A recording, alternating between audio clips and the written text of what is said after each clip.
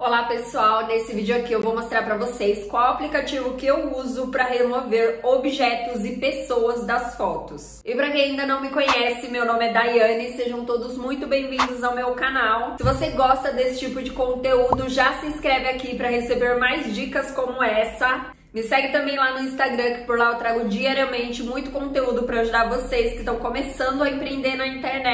O meu arroba tá aparecendo bem aqui em cima para vocês e tem um link aqui na descrição também. Então termina de ver esse vídeo aqui depois já vai lá me seguir. Então, sem muita enrolação, já vamos lá para a tela do meu celular que eu vou mostrar para vocês qual aplicativo que eu uso e como que eu faço para remover é, objetos e pessoas indesejadas ali da minha foto, tá bom? Vamos lá! Então vamos lá, pessoal, tô aqui na tela do meu celular, tô aqui na minha galeria, tá? E aí, antes de mostrar o aplicativo para vocês, vou mostrar para vocês como que eu faço quando eu tô com uma pessoa que eu sei que não tem muita habilidade para tirar foto. Eu estava com a minha mãe hoje na praia, ela queria tirar foto para mim, então eu pedi para ela gravar, entendeu? Porque aí é, geralmente quando a pessoa não tem muita habilidade, ela acaba tirando foto na hora errada, na pose errada e tal. E aí, nesse caso, eu peço para a pessoa fazer um vídeo, porque aí depois eu venho e tiro o print do momento que eu quero da hora que ficou melhor, entendeu? Então, eu vou tirar o print aqui nesse momento, tá? E agora eu vou lá pro aplicativo para mostrar para vocês como que você vai remover essa mulher aqui no fundo e essa sombra da minha mãe aqui também. Vamos lá.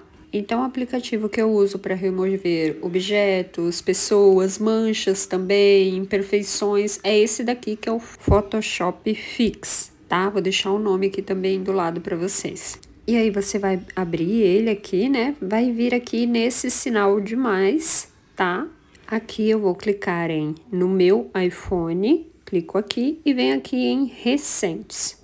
Prontinho, vou pegar aqui a foto que eu quero e vamos lá, a primeira coisa que eu vou fazer é vir aqui, olha, em cortar, né? Porque era um print eu já vou deixar aqui certinho no tamanho que, que vai lá pro Instagram, que é esse daqui, ó, 4 por 5 certo? Vou centralizar ele aqui certinho, deixar no tamanho que eu quero. E pronto, confirmo aqui na parte inferior direita, tá vendo?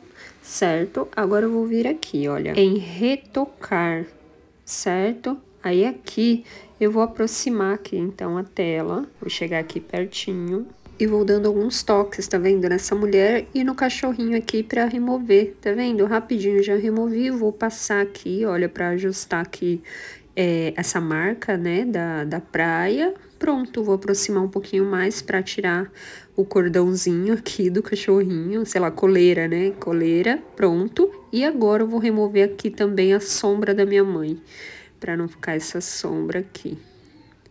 Olha só, gente, rapidinho, ficou perfeito, não dá nem para imaginar que tinha uma sombra, que tinha mais pessoas lá no fundo. E aí, gente, quando for uma mancha menor, algo que é menor assim na imagem, você aproxima mais a tela, tá? Você dá um zoom é, para remover. E quando for um objeto maior, você deixa mais distante. Então, nesse vídeo aqui, é isso mesmo que eu vou mostrar para vocês. No próximo vídeo, eu vou mostrar como melhorar a qualidade dessa imagem, até mesmo porque ela é um print de um vídeo, né? Então, a imagem não ficou muito boa.